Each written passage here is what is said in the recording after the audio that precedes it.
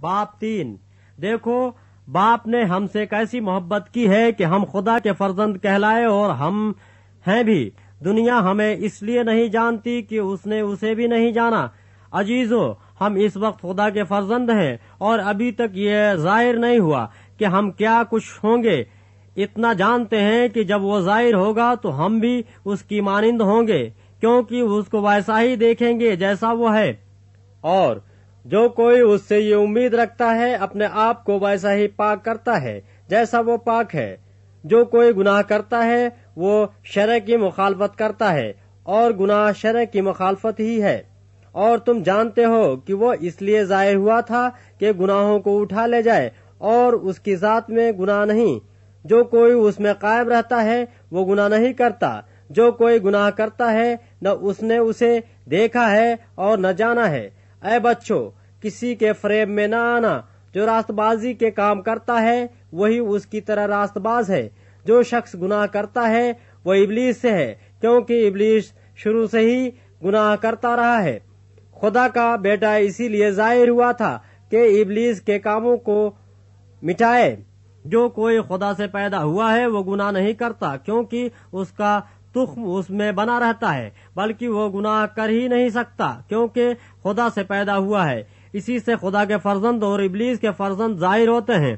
جو کوئی راست بازی کے کام نہیں کرتا، وہ خدا سے نہیں، اور وہ بھی نہیں جو اپنے بھائی سے محبت نہیں رکھتا۔ کیونکہ جو پیغام تم نے شروع سے سنا، وہ یہ ہے کہ ہم ایک دوسرے سے محبت رکھیں۔ اور قائن کے مانند نہ بنے، جو اس شریر سے تھا اور جس نے اپنے بھائی کو قتل کیا، اور اس نے کس واسطے اسے قتل کیا؟ اس واسطے کہ اس کے کام برے تھے اور اس کے بھائی کے کام راستی کے تھے۔ اے بھائیو اگر دنیا تم سے عداوت رکھتی ہے تو تعجب نہ کرو۔ ہم جانتے ہیں کہ موت سے نکل کر زندگی میں داخل ہو گئے کیونکہ ہم بھائیوں سے محبت رکھتے ہیں۔ جو محبت نہیں رکھتا؟ وہ موت کی حالت میں رہتا ہے۔